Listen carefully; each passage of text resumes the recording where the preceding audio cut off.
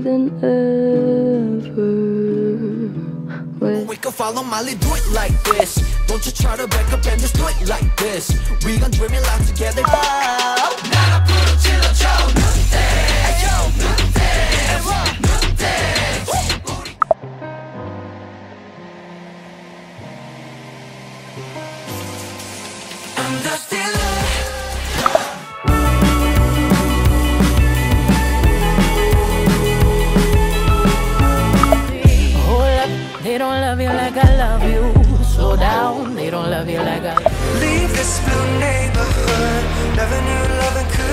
this good.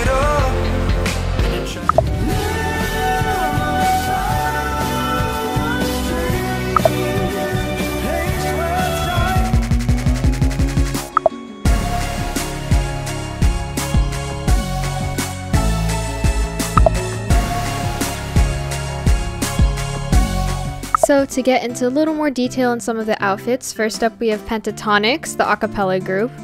I basically created the whole outfit based off of this rainbow sweater that I made out of a sock. I actually have a video on that if you want to go check it out, I guess. And then I paired it with some white detail since the background of the album is white. I also apologize for the background music. If it sounds kind of weird, I'm trying not to get copyrighted.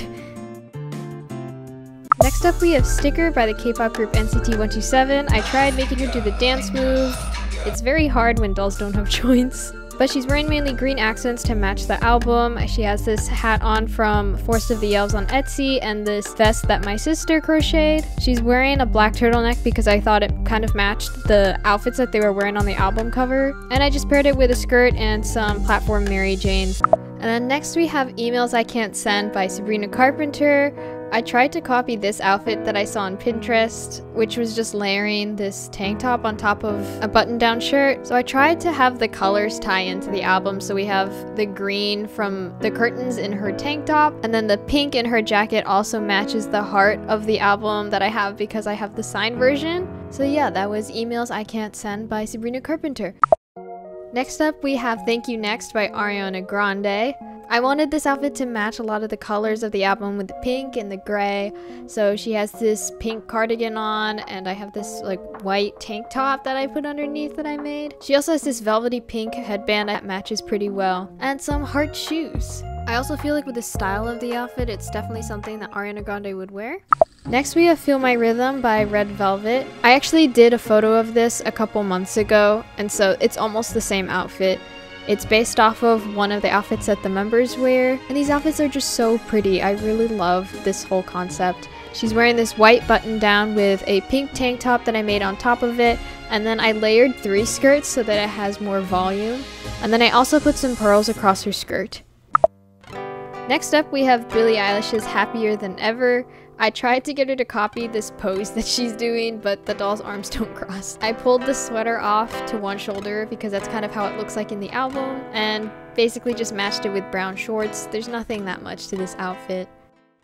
Next up, we have Disharmony Find Out by P1 Harmony. I wanted to base this off of one of the versions of the album, which had a purple cover on it, and it also had hints of green throughout the comeback, so I thought that this sweater that my sister crocheted worked well with it. There's also a lot of like shiny metallic designs, so I thought that the metallic sunglasses as well as the shiny shirt went with it pretty well. I also tried to get her to do the dance, and it looks kind of funny. Next up, we have Neozone by NCT 127 again. Um, I'm sorry, they're my favorite group, so I did them multiple times.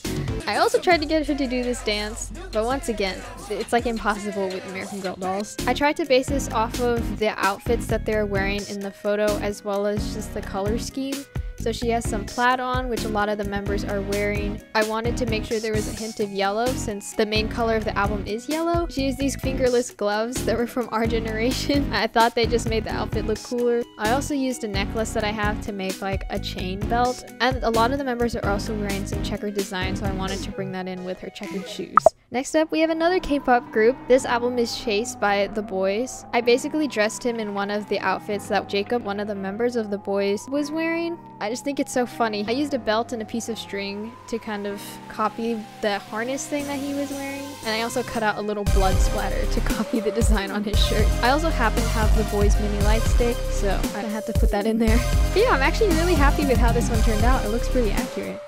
And then next up, of course, I had to use Julie for this because everyone was pointing out how Harry Styles' outfit looked just like Julie Albright's. So she's basically just wearing her meet outfit, although I used different pants because they looked more accurate. And I put a Peter Pan collared shirt underneath since that's the kind of shirt that Harry has on.